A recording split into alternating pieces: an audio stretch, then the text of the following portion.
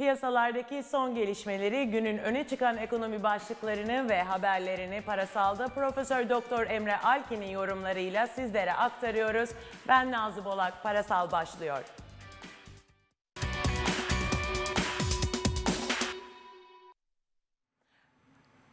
Hocam yeni güne başlarken e, öncelikle yeni saatimiz hayırlı uğurlu olsun. Çok teşekkürler. Bence- Bence... 9.30'dan itibaren buradayız. Evet artık 9.30'da hafta içi her gün buradayız, beraberiz.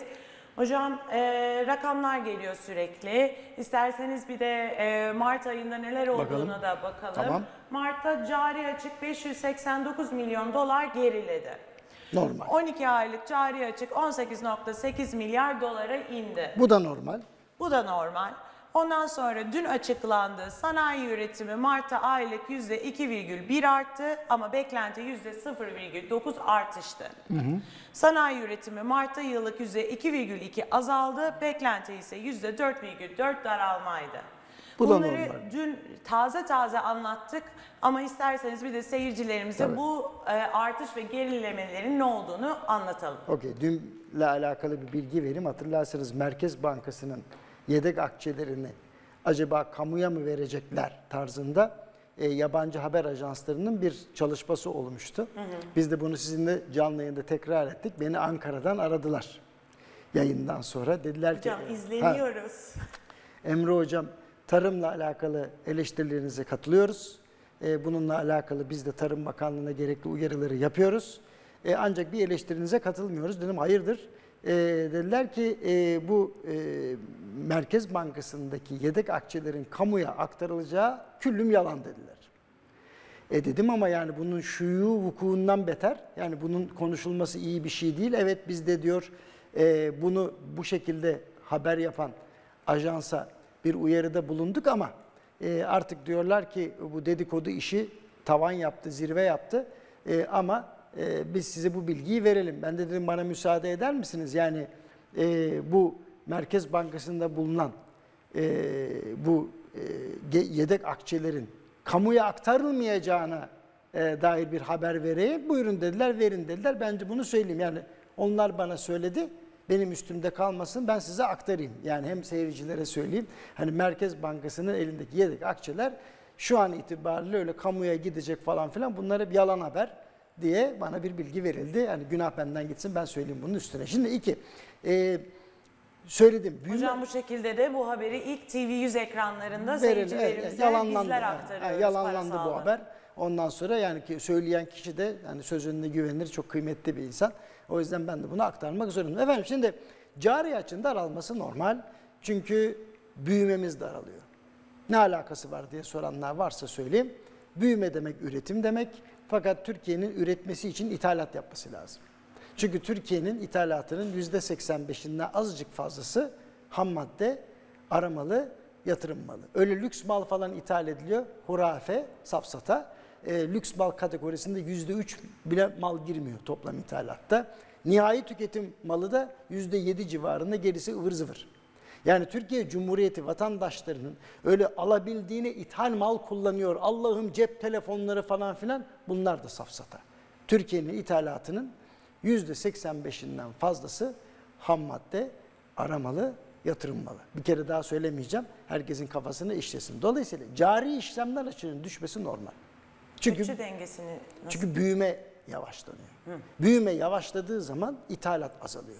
İthalat azaldığı, azaldığı zaman da cari işlemler açığının üzerindeki baskı kalkıyor. O da daralıyor. Yani Türkiye Cumhuriyeti'nin yapısal problemi sü- sürekli ithalat yapmak zorunda, ihracat yapmak için de üretim yapmak için de. Dolayısıyla cari açık rakamının düşmesi Türkiye Cumhuriyeti için iyi haber değil. Uzaktan bakılınca. İyi haber ne? Enerji fiyatları eğer 90 dolarlarda falan olsaydı petrol fiyatlarını kastediyorum doğalgaz fiyatları falan artmış olsaydı büyüme yavaşlarken cari açık artmış olacaktı. Ha bu Tabii. tehlike olurdu. Denge. Bu kötü olurdu. Yani ihracat tam olarak hızını alamamış.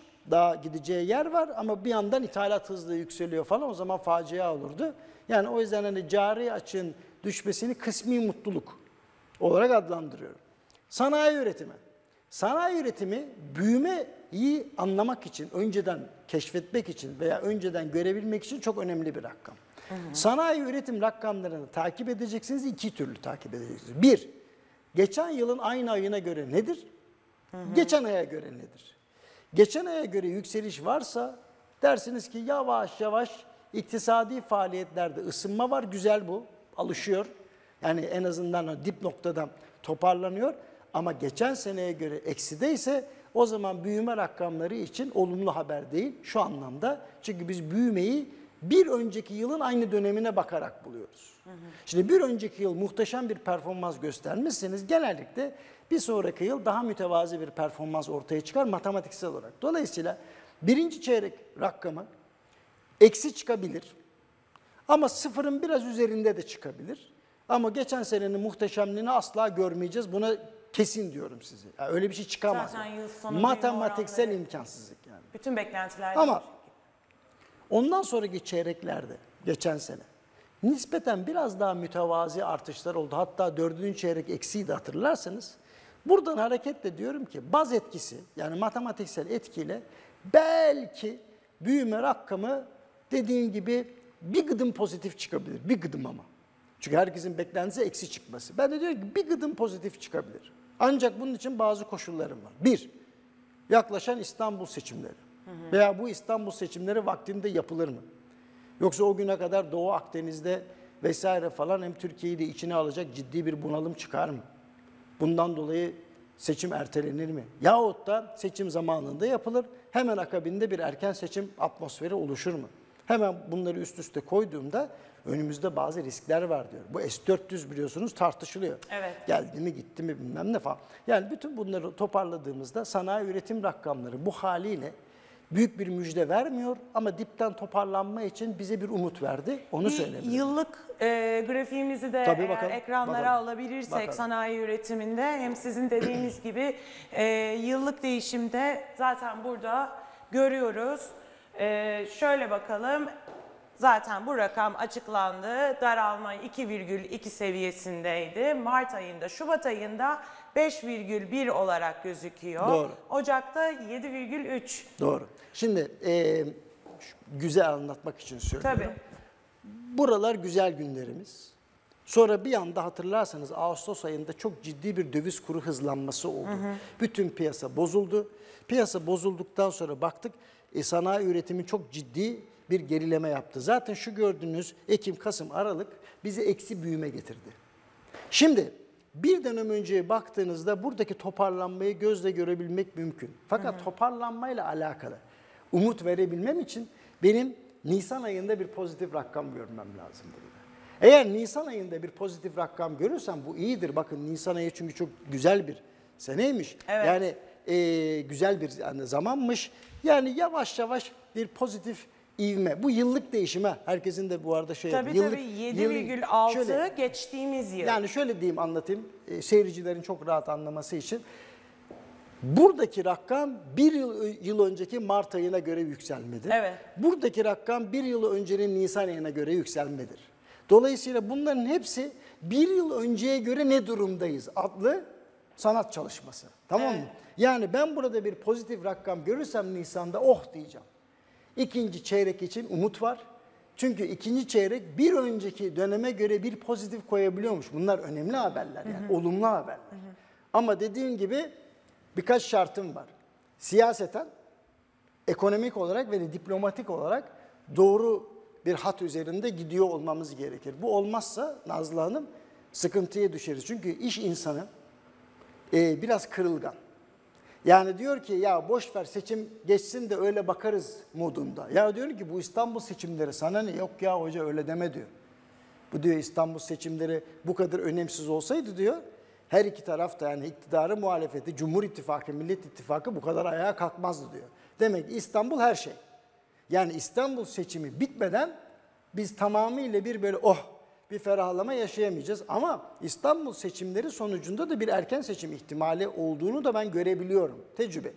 Evet Yani- hocam bunu dün de söylediniz. yani fena değil bu tecrübemiz var bu konularda ve eskiden şöyleydi yani seçim seçim olmayacak merak etmeyin vaktinde yapılacak dendiği zaman gerçekten vaktinde yapılıyordu. E, ben ilk e, erken seçim olacak göreceksiniz dediğimde hop oturup hop kalkanlar vardı. Ne oldu? Erken seçim oldu. Yani şöyle diyeyim size sürekli seçim yapan bir atmosferle Türkiye'nin ileriye gitmesi çok mümkün değil. O yüzden bu İstanbul seçimleri öyle bir bitsin ki yani kim kazanırsa kazansın önemli değil. Herkes desin ki oh rahatladı. Ee, toplumun üzerindeki sıkışmış gaz da çıktı. Bundan sonra önümüze bakalım diye. Hocam siz bunu dün de söylediniz. Belirsizlikler sürekli piyasalarda dalgalanmaya sebep E oluyor. tabii, neden Şu biliyor seçim ne olacak bir belirsizliği var. Nasıl hazırlıklar yapılacak belirsizliği var. Siz de dile getirdiniz. Dün e, de konuştuk. Hazine ve Maliye Bakanlığı'nın Merkez Bankası'nın e, dan bir borçlanma söz konusu olduğu ile ilgili. Bunu da tekrarlayalım. Tamam yalanladık. Yalanladık. şöyle Evet, ben yalanlamadım. defa TV yüz ekranlarında Tabii ben yalanlamadım. Ankara'dan beni aradılar. Evet. Hocam işte sizi ilgiyle seyrediyoruz. Teşekkür ederiz. Harikasınız. Ee, ancak bir uyarıda bulunalım. Ee, kesinlikle ve kesinlikle Merkez Bankası'nın yedek akçelerinin kamuya aktarıldığı haberi yanlış. Evet. Bununla ilgili hazırlık da yanlış. Yalan demiyorlar ayıp olmasın diye. Ama diyorlar yani hani bu Yanlış bir haber, ha şöyle doğru bir şey. değil. Hani bu da olmasın diye belki önden Hani bir e, davranış e, dedim arkadaş hani bu da yanlış bir şey. Yani bunu kim yapıyorsa bu haberi aslında lehine bir şey değil. Tamamen aslında uygulayıcıların aklına yeni bir fikir getirmiş oluyorlar. Yani güzel bir haber olmamış bu. Yani şöyle bir şey olmasın diye önlem alsanız bile bu haberi yaptırtarak bakın net olarak konuşuyorum. E, bu idarecilerin hakkına yeni güzel bir fikir getirmiş oldu. Bunlar yanlış işler. Neden oluyor biliyor musunuz bunlar? Tecrübesizlikten. Şimdi bazı şeyleri hiç konuşmayacaksınız. Eğer Merkez Bankası'ndaki yedek akçelerin kamu tarafından kullanılması istenmiyorsa bu haber yanlış bir haber olmuştur. Yani bunun önlemini alayım da vatandaşı bir ayağa kaldırayım, ortalığa bir tartışma atayım. Bunu yapmak isteyecekler varsa bundan imtina etsinler. Ya arkadaş sen hakkına getirdin milletin işte bunu. Günün birinde gerçekten kamu çok sıkıştığı zaman ver bakayım bu yedek akçeleri dediğinde ne olacak o zaman? Dolayısıyla milletin hakkına böyle şeyler getirmeyeceksiniz. O yüzden yapılan haber yanlıştır. Yanlıştır derken doğruluğunu söylemiyorum. Tarzı yanlış. Böyle haber olmaz. Hepimizi galyana getirdi burada tartışıyoruz biz. Ondan sonra kamudaki belki birkaç kişi de ya Evet, vallahi bayağı bir süre ya kamudaki birkaç kişi de der ki ya vallahi hiç aklımıza gelmemişti. Aa ne kadar güzel bir şey diyebilir. O yüzden ben her zaman bunun amacı ne? E, kullanılan enstrüman ne ona bakarım. Hocam Yani hazine yanlış oldu yani. Doğru söylüyorsunuz. Ee, ama ben diğer konuya hemen Tamam, geçmek tamam. istiyorum. Hazine ve Maliye Bakanı Sayın Berat Albayrak'ın bu e, açıkladığımız sanayi rakamları, verileri üzerine bir açıklaması olmuştu. Sanayi üretimindeki pozitif ti- pozitif trend devam ediyor. Özellikle kamu bankalarımızla birlikte açıklayacağımız paketiyle sektörümüzdeki dengelenmeye büyük katkı sağlayacağız dedi Sayın Hazine ve Maliye Bakanı Berat Albayrak. Hocam dün de siz de, e, dile getirmiştiniz. E, özellikle kamu bankalarımızla birlikte açıklayacağımız paket cü- e, cümlenin bu kısmında dediğinize göre önce paketi görelim demiştiniz. Şimdi benim bir ufak katkım olacak. Evet. Saygıdeğer bakan bence yani cansiperane bir şekilde kamuya bilgi vermeye çalışıyor. Ee, ve e, sosyal medya kullanımında e, mesajın altına resim koymak çok etkili oluyor.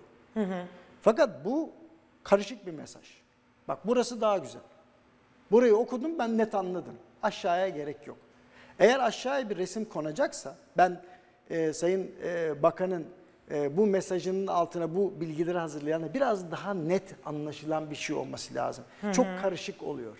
Yani şöyle diyeyim şimdi onu açacaklar, okuyacaklar vesaire. Bence link verilse ve bu linkten gidilse veya en azından bu mesajın içerisindeki en çarpıcı şey neyse onu oraya konsa daha sonraki mesajlarda da bunları parça parça konsa daha iyi olacak. Çünkü e, ne oluyor biliyor musunuz? Çok fazla detaya boğduğunuz zaman insanlar hop kafayı çeviriyorlar.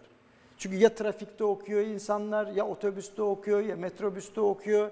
E, sanayici de yani sabahtan akşama Twitter'a bakmıyor. Yani bakıyorsa zaten işi gücü yok. Ondan sonra yani durdurmuş herhalde fabrikası. O yüzden benim önemli tavsiyem naçizane buradan böyle güzel bir mesaj verilmiş. Tamam dengelenmeye katkı sağlayacak. Ben anladım burayı. Burası çok net. Yani bu zaten moral vereceğim. Aşağı indiği zaman insanların kafası... Pozitif bir mesaj. Ya kafası karışıyor insanların. Evet. Dolayısıyla böyle bu tip böyle karışık şeyler yapılacağına mesela buradaki en çarpıcı şeyi koymak. Mesela bu güzel. Evet, Anlatabildim mi? şimdi- Yani şu- şimdi burayı Ha, gösterecektim. bu güzel. Evet. Bu güzel. Ben bunu anladım zaten. Yüzde iki nokta bir artış var. Aman ne kadar güzel. Ama şunlar işte mevsim takvim etkisi, takvim etkisi. Bunlara gerek yok. Zaten kim, kimse bilmiyor takvim etkisi, mevsim etkisi. Herkes cebindeki para arttı mı? Üretim birimleri arttı mı? Hala maaş alıyor mu? İşinde çalışıyor mu? Ona bakıyor. O yüzden Evet. Sayın Bakan'dan ona özellikle istirhamım. Burası çok pozitif, çok güzel ama aşağısı çok karışık. Yavaş yavaş hani daha net bu, bu resimleri daha net yapmak lazım. Çünkü işte tamam bir bakan ağırlığı var tabii ki rakamları verecek ama bir link verelim. En çarpıcı mesajı buraya koyalım. Mesela bu şekil çok güzel. Ben bunu bunun üzerinde dururdum yani. Ben olsam. Ben olsam yani. Hocam e, yerimize yavaşça Tabii, geçerken kısa bir reklam arası veriyoruz. Tamam. Sevgili seyirciler kısa bir reklamın arasından tekrar beraberiz.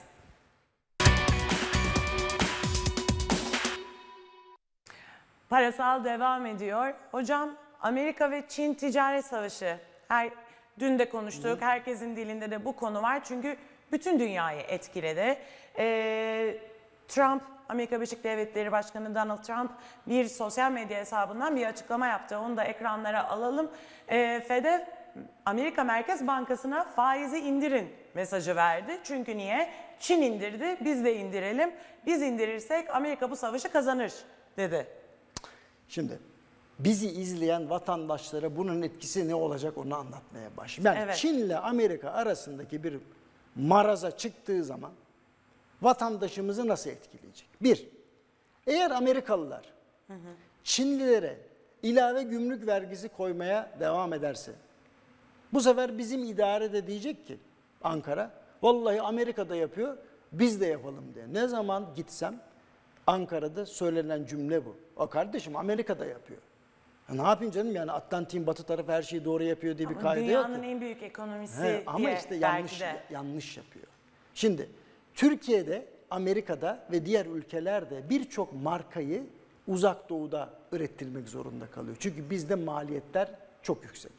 Yani işçilik maliyeti çok yüksek değil. İşçilik açısından ucuz olduk bu döviz kurunun hızlanmasından sonra. İşte altyapıdan tutun da enerjiye kadar biz çok yüksek maliyetlerle çalışıyoruz. Vergiler de var zaten bunun üstüne giden. Bir de e, e, KDV iadeleri falan ödenmiyor. Şimdi bütün bunların ortasında ne olacak? Diyorlar ki biz o zaman rakipleri biraz daha ilave gümrük vergisi ödeyelim. Niye? Çünkü Amerika'da yapıyor. Şimdi bu ne demek vatandaşa? Vatandaşa bu yol su elektrik olarak geri dönecek. Yani enflasyon olarak geri dönecek haberiniz olsun. Bununla ilgili de bir açıklama Tabii. geldi. Tabii Donald Trump böyle bir mesaj paylaşınca bu sefer de Fed yetkililerinden bir cevap geldi. Onu da ekranlara alırsak Tabii. Fed cevabı şu oldu. Yani indiremem. bir şey söyleyeceğim. Amerikan Çin arasındaki ticari müzakerelerle Fed'in faizi arasında hiçbir al- alaka yok, bağlantı yok. Tamamen Trump atıyor kafadan. Çünkü Trump'ın korkusu şu. O zaman bir daha bir geri dönelim Tabii, Trump'ın tabii. açıklamasına. Bir Şöyle- okuyalım da sevgili tabii, tabii. seyircilerimize. Şöyle net söyleyeyim. Ben okuyayım. Çin Tabii. işletmeler için sisteme para pompalayacak ve muhtemelen faizleri düşürecek. Eğer Fed de benzer adım atarsa oyun biter ve biz kazanırız. Çin her şartta bir anlaşma isteyecek. Trump Çin'i okuyamıyor. Ya da okumak istemiyor. Çin bıraktı bu işleri artık. Yani böyle bankalardan para pompalayalım. İşte milyarlarca ucuz ürün satılsın falan. Bitti o işler. Tamamen bildiğimiz ciddi teknolojik Hocam Amerikan çok özür dilerim YSK Başkanı açıklama yapıyormuş. Sevgili seyirciler e, YSK Başkanı şu an bir açıklama yapıyor. Oraya dönüyoruz. SK'nın sor. Bugüne kadar yapmış oldukları sorgulamada bulamazlar. Çünkü bizim sistem şöyle işliyor. Anlık olarak Türkiye'de kim seçmen ise o an itibariyle e, seçmen listeleri yayınlanıyor.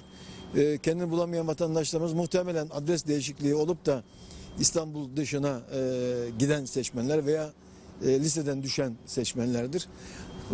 Ancak biraz önce belirttiğim gibi e, 23 Haziran'da yapacağımız seçim 31 Mart'ta yapacağımız seçimin e, tekrarıdır, yenilenmesidir. Dolayısıyla aynı seçmen listelerini e, biz kullanacağız.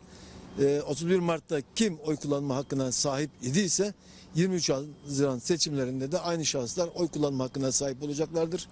E, bugüne kadar kendini göremedim diye vatandaşlarımız bugün öğleden sonra sistemi vatandaşlara açtığımızda İstanbul'da 23 Haziran'da yapılacak seçimde e, nerede hangi sandıkta oy kullanacağını görme imkanına sahip olacaklardır. Olarak gerek- Siyasi partilerde de dediğim gibi biz bunu paylaştık. Siyasi partilerde e, 31 Mart listesiyle seçmen e, listesiyle bunu karşılaştırma imkanına sahip olacaklar. Efendim son olarak gerekçeli kararınız bekleniyor. Arkadaşlarımız arkadaşlarımız çalışıyor. E, karar yarın e, bittiğinde yazın bittiğinde paylaşacağız. Peki, Peki teşekkür, Teşekkür ederim. ederiz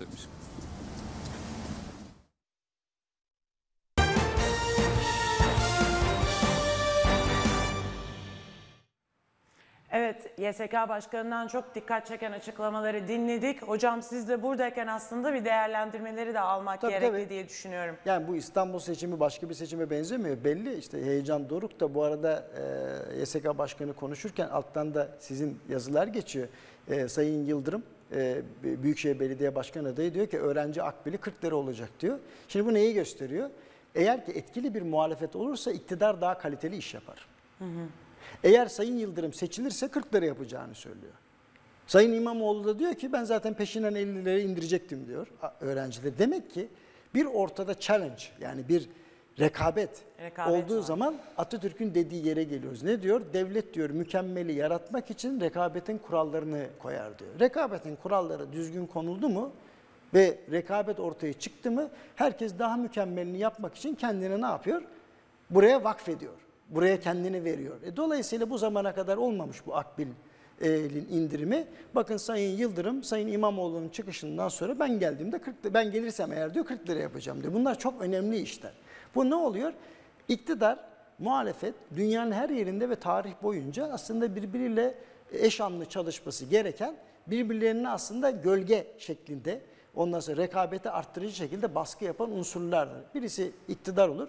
Ondan sonra bir başkası der ki ben geleceğim daha iyisini yapacağım. Öyle mi? Dur bakayım çalışayım ben de o zaman. Bu zamana kadar neyi yapamadım diye. O yüzden ben İstanbul seçimlerini bu açıdan da ben de önemsiyorum. 23 Haziran'da aynı seçmen listeleriyle e, seçime Öyle olması lazım zaten. Evet. Öyle olması lazım. Yani eğer ki Hocam farkındasınızdır son birkaç gündür bu konu çok gündemde. E, canım Hepimiz yani bir giriyoruz, E-Devlet'e bakıyoruz. Ya şimdi şunlar çok ayıp bir şey. Bir adrese gidiyorsun 57 kişi falan filan var. Sonra bakıyorsunuz ki işte belediye başkan adayının akrabaları falan. Ya bunlar çok ayıp şeyler. Bakın futbolda da bunlar oluyor ve her yerde de oluyor bunlar. Ya arkadaşlar ya kuralına uygun yap. Kazanmak her şey değil ya.